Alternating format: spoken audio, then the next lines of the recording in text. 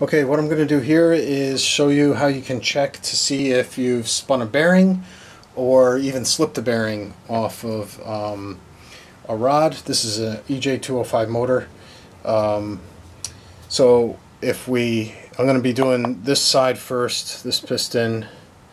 Uh, basically you want to get to top dead center like this and then you can see just ever so slightly, you know, the, the pistons start to, to retract on the cylinder and then you just give it a little push. And you can see it it moved just a just a tiny bit there. Um, uh, it, it, I can actually feel it. Uh, it's, it's just a, a, small amount.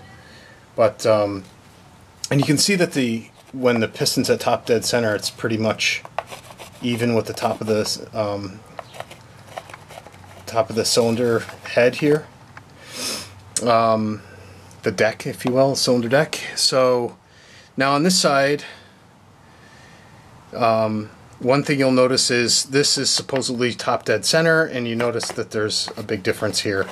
It's not even with the um, with the deck at all. So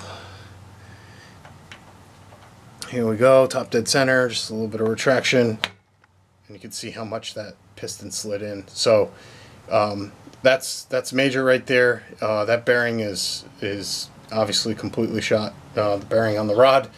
Um, so so there you go. It's one way to check.